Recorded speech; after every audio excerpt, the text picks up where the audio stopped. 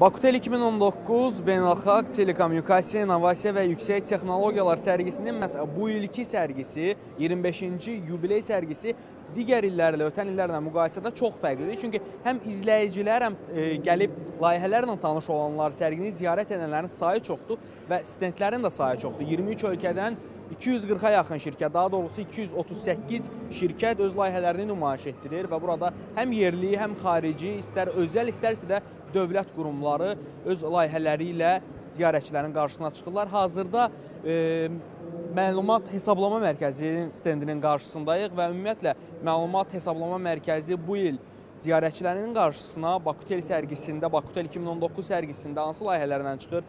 E, bu barədə məlumatları bizə məhz PR üzrə mütəxəssis verəcək. Salam, xoş gördük sizi. Salam, xoş gəlmisiniz.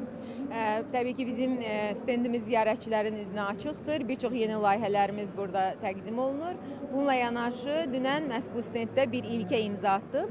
Ə, Nəqliyyat, Rabitə və Yüksək Texnologiyalar Nazirliyi ilə Belarus Respublikasının Rabitə və İnformatizasiya Nazirliyi arasında memorandum elektron formada imzalandı.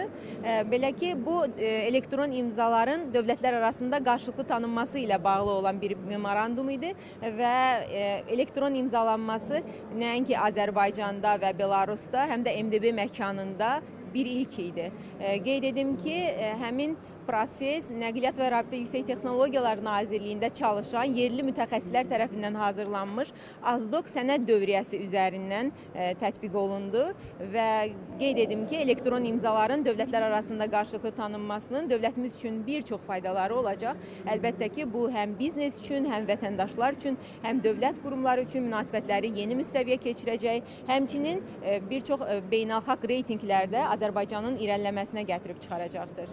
Çox sağ olun, təşəkkür edirəm. Uğurlar arzulayıram işlərinizdə. Sağ olun. Yalnız izləməkdə qalın.